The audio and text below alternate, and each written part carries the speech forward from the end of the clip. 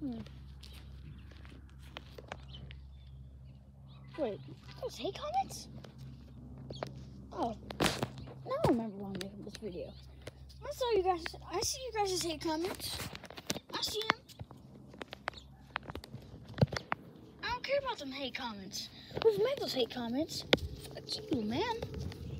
Flip you. Flip you. Wanna know why? Those hate comments are just pushing me to my limit. They make me better at YouTube. I'll get better. Losers. Let's tell your mama said this. She's so fat. No one loves her. I, go back to the kitchen. Make me a, a freaking sandwich. Go back to the freaking kitchen. Also, Red, do you see this video?